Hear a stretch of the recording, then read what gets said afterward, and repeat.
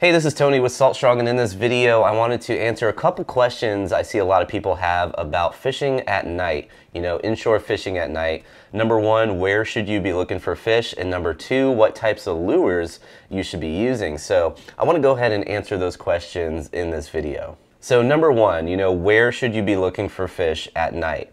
And the answer is actually very simple. You should be looking for fish in the same areas that you're finding fish during the day.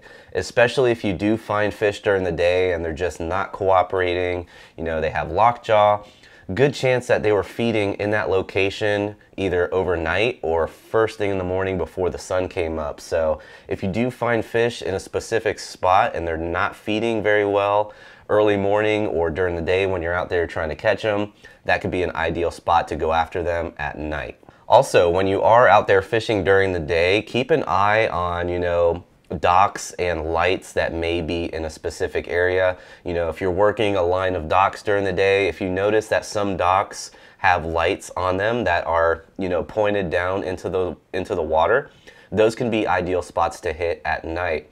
And also, with all this being said, when you do fish at night, you should never go to a new spot because there may be, you know, hazards in the water. You don't know what the depth is. You should go to a spot that you are comfortable fishing during the day. That way, when you get out there at night, you know how to safely navigate that area without running into any obstructions for safety. Also, another tip when you're fishing at night when it comes to lighting, you know, when those lights are shining in the water constantly, you know, they're constantly on, it's not going to spook the fish. It will actually draw in bait and it will draw in those predator fish. So if you do set up on a spot, you know, on a shoreline and you have some lights maybe behind you or overhead to light up the area that you're fishing and they're constantly on, that could actually help draw fish in. What really hinders, you know, night fishing when it comes to lights are the headlamps that you use. When you turn on your headlamp and that light is shining into the water sporadically, you know, randomly comes on or it starts, you know, you're moving your head around and that light is just moving around in the water, that will actually spook fish. So you want to be very mindful when you are using a headlamp at night when night fishing to make sure that, you know, if you're fishing on shore, turn your back to the water, have the light shine on land if you're tying knots or things like that.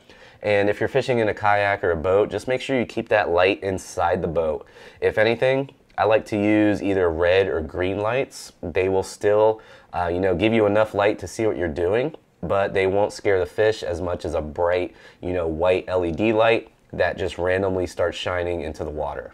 Now lastly, when it comes to lure selection when fishing at night versus fishing during the day, I do change it up a bit. You know, at night the fish are relying more on sound, vibration, and scent as opposed to sight. So you want to uh, use lures that either have all three of those things or at least one of those. So number one, my number one choice is going to be a larger paddle tail. You know, during the day, I'm usually using a three or four inch paddle tail that has a small tail on it. But at night, you're actually gonna want something that's a little bit bigger in profile and also has a larger tail because it's going to cause more of a disturbance in the water to help those fish dial in on the actual lure itself. Now, as far as the color goes, I don't really, you know, worry about color too much. It's more that vibration and that commotion that's going to help draw the fish in. Once they're close enough, doesn't really matter what color it is, they're going to be able to hone in on it. And the Slam Shady color, which I have here, this is the Slam Shady Bomber. This is our 5-inch paddle tail. I have it rigged on a 4-aught 1 8 owner twist lock hook. This works really well at night under dirty water conditions, clear water conditions, works great. I've even used these in inlets in very deep water with a heavy jig head on there, you know, fishing for snook, and it works out very well. Now my next choice is going to be a top water, something that causes a lot of commotion on the surface of the water. So if you're fishing, you know, around a lot of mullet or, you know, a lot of bait fish that are causing a lot of commotion on the surface, if you throw a top water, that could be great for redfish, trout, snook, any of those predatory species because it makes a lot of commotion on the surface of the water.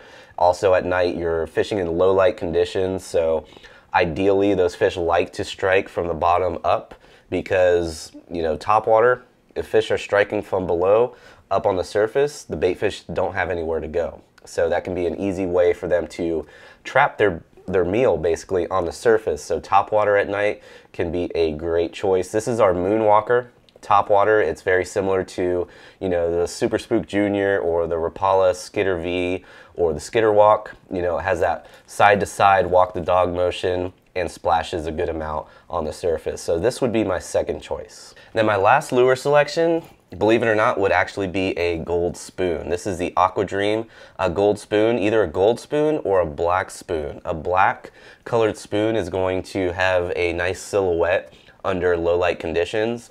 And then a gold spoon, gold actually requires less light to flash. So if you're fishing under a full moon where you do have some moonlight hitting the water, this will flash really well under those conditions. So gold spoon works really well because of the flash and also the vibration that it puts in the water. Now, if you are interested, we do sell all of these lures on our shop page at fishstrong.com. You can pick them up there.